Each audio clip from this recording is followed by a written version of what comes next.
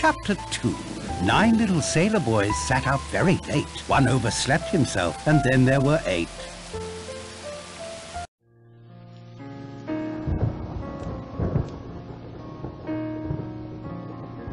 Filthy night. I tried to go out to get some more wood for the fire, but the wind drove me back. A storm like that will keep us all indoors. My apologies for the accommodations, Mr. Narracott, but all the beds are taken. Makes one wonder where the Owens were planning to sleep, doesn't it? A good servant follows instructions, sir. He does not question his employer, unless you'd like to share the deceased's room with the corpse. This will do fine. Thank you, Rogers. I'll wish you a good night then, sir.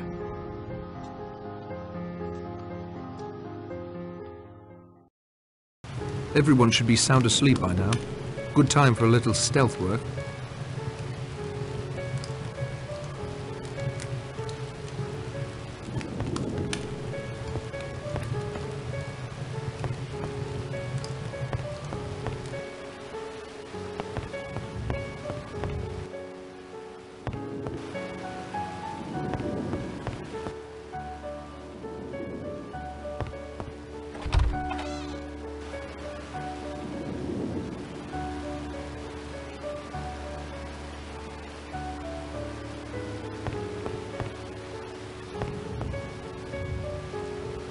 Nine little sailor boys.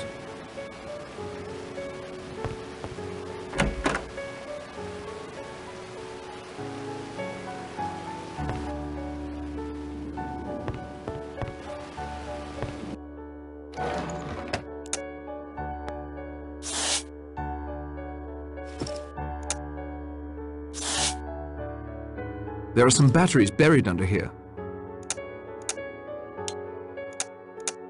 Seems so obvious in retrospect.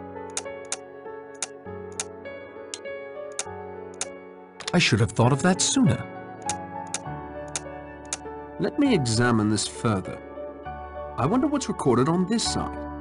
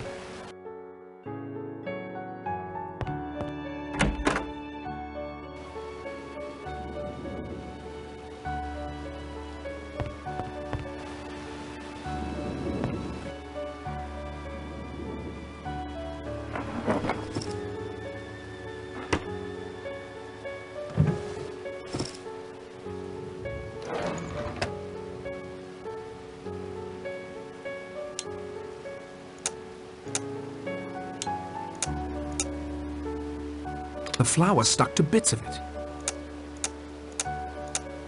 Aha! A fingerprint.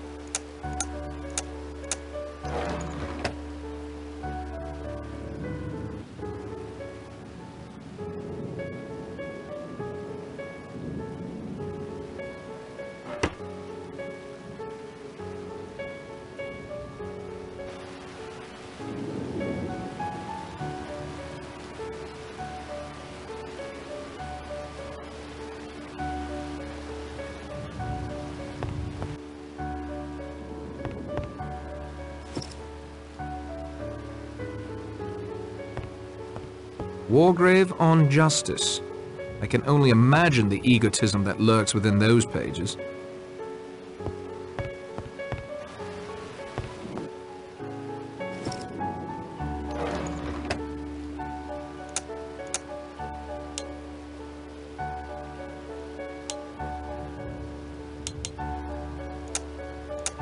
I can't take that apart. Property of Teresa Robson. I transcribed the interesting passages into my notebook.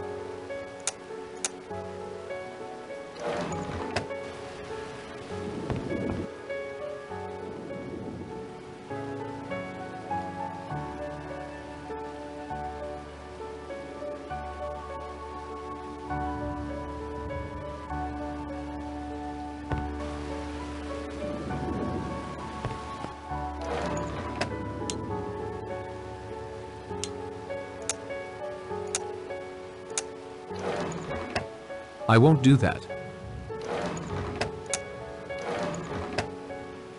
The drawer is locked.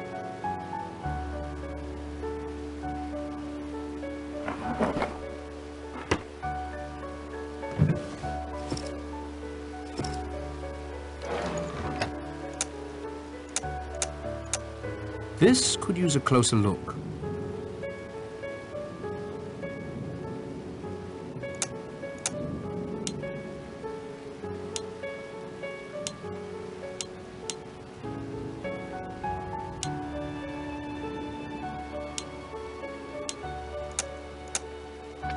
Came apart rather easily.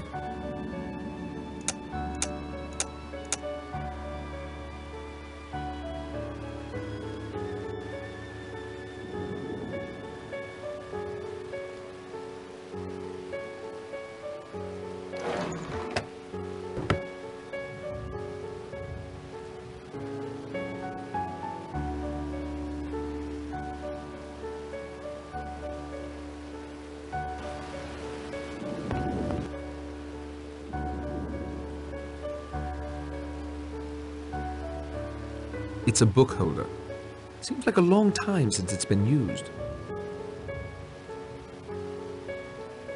A rather beautifully made globe of the world.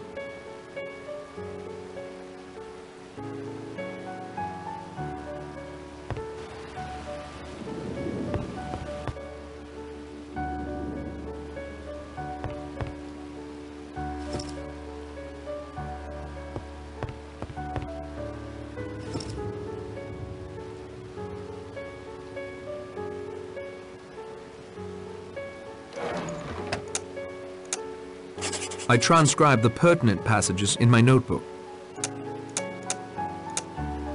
Normally, I would never violate someone's privacy this way. However, given the circumstances, I will examine the entries for clues and transcribe any passages I find pertinent.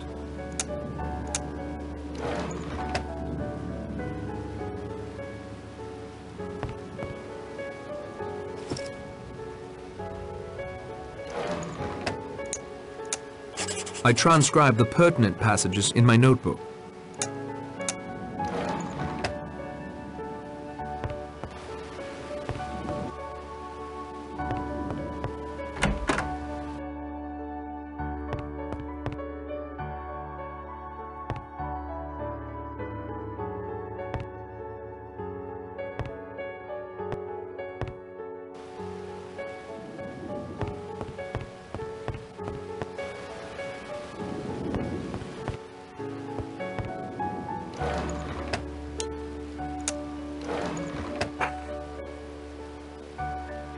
I don't think that's appropriate. That doesn't make sense. I'm pleased to see at least one of you has thought to turn the record over. Any good house party should include party games. This weekend is no exception. I have devised several little games of the mind to challenge your wits, and I hope you find the rewards for each to be worth the effort. You'll have to discover my little amusements on your own, however. I've scattered them all over this delightful island retreat. I hope that you will find them suitably entertaining.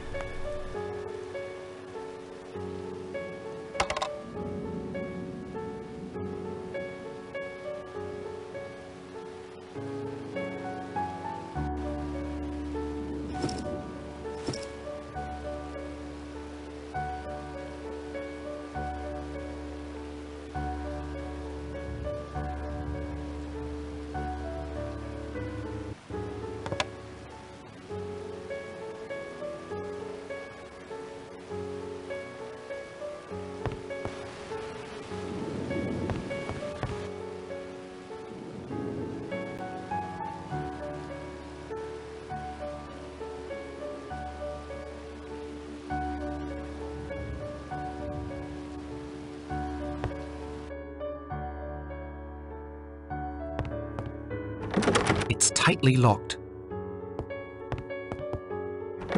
I can't open it. It's locked.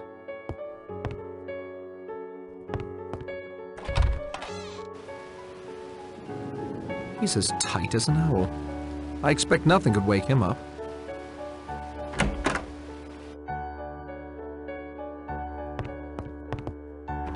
Locked.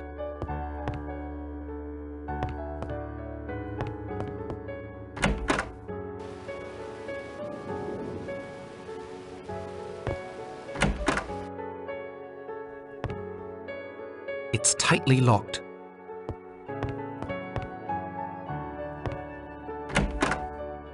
Morning is coming. I'd best get back to my bed.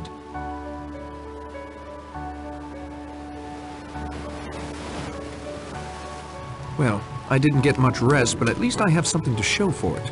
I'd best see if everyone has come down for breakfast.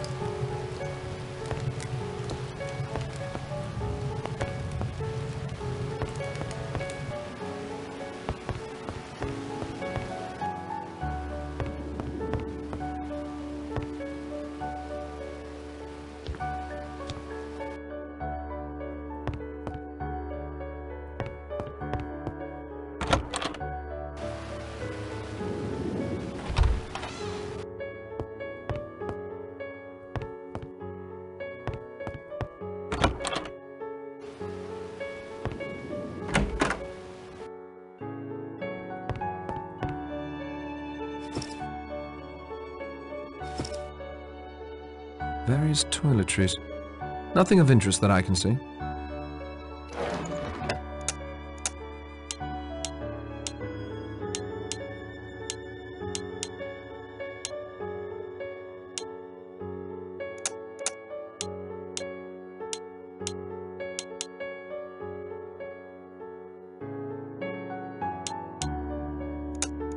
This could use a closer look.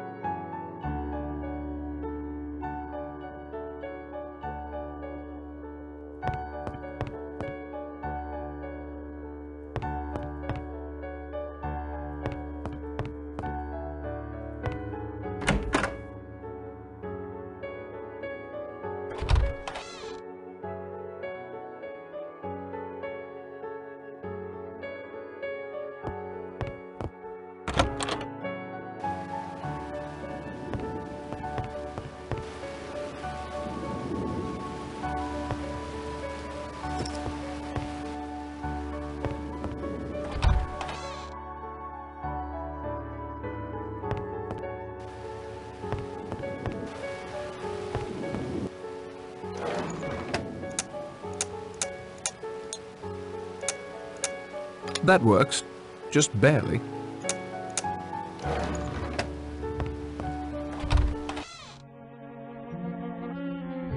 If what Narracott told Vera is true, and mind you, I take anything he says with a grain of salt, then they will not be sending a boat until at least Monday, even if the storm clears. Wise to remember, Narracott's the odd man out here.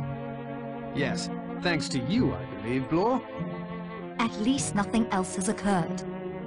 I hope you are correct, Miss Claythorne. However, I feel compelled to draw your attention to this table's centerpiece. Now two are broken. How odd.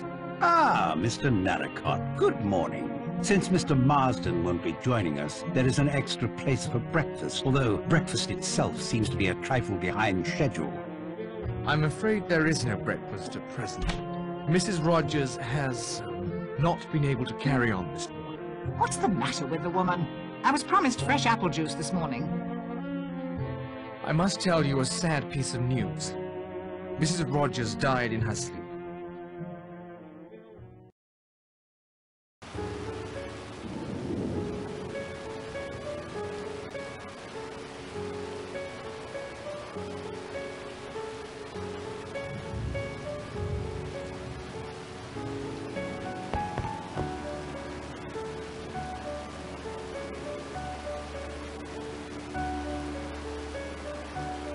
Any theories about Mrs. Rogers' death?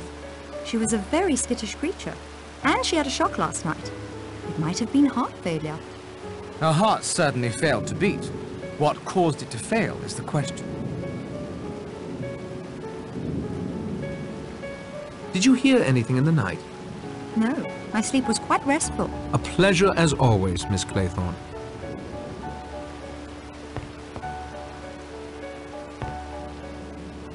Any theories about Mrs. Rogers' death, Judge? I'm afraid it confirms my opinion that there is something very wrong on this island. It occurs to me that if these two deaths were not suicides or accidents, that Mr. Owen may very well be responsible. If so, he is almost certainly on this island somewhere. I agree. I think we should find a way off this island immediately. Did you hear anything in the night? I confess I slept fitfully.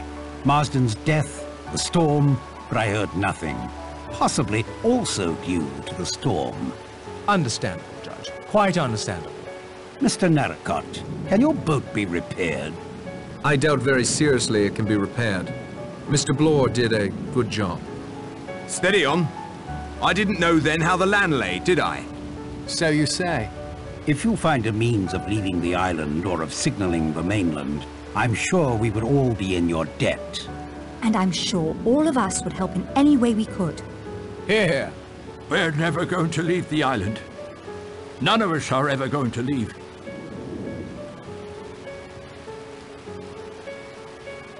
What were you hinting at concerning Marston's politics? Only that he'd become mixed up with some foreigners.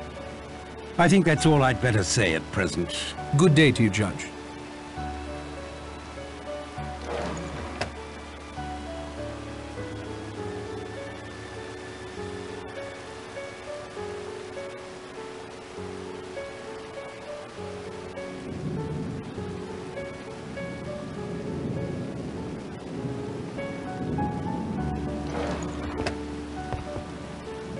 What was the cause of death?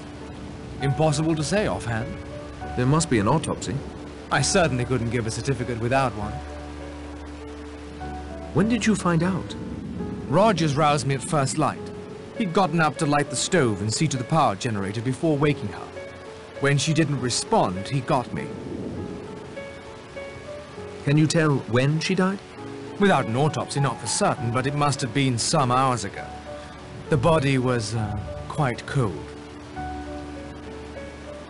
Did you hear anything in the night? No, although it appears I should have. That is all for now, Dr. Armstrong. Any theories about Mrs. Rogers' death? We know that she consumed something last night. Dr. Armstrong told us so. I, Mr. Lombard? You gave her a sedative. A small dose of Trional, nothing more. Doctors have made mistakes before. You're suggesting I accidentally gave Mrs. Rogers an overdose? Accidentally or otherwise. One death may have been an accident or suicide, but two in the space of a few hours?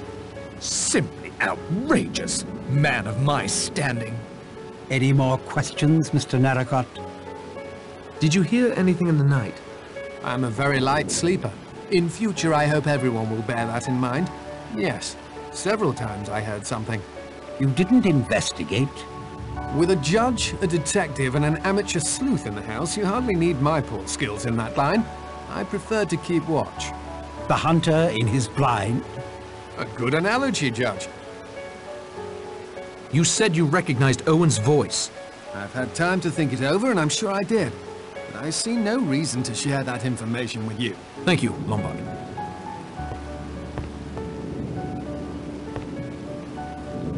Any theories about Mrs. Rogers' death? Conscience. What do you mean by that? She was accused, together with her husband, of having deliberately murdered her former employer, an old lady. You all saw her last night. She broke down completely.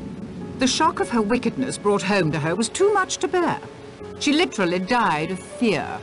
Possibly, if there was cardiac weakness. Call it, if you prefer, an act of God. Thank you, Miss Brent.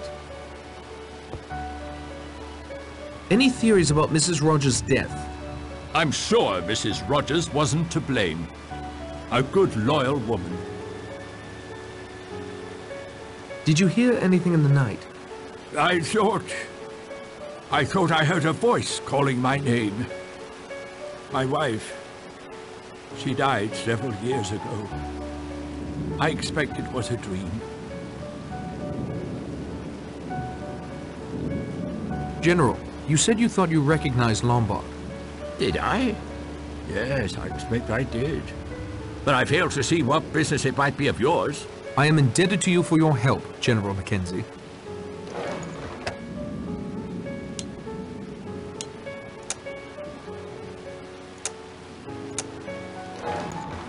Perhaps this will grant the aging general increased mobility.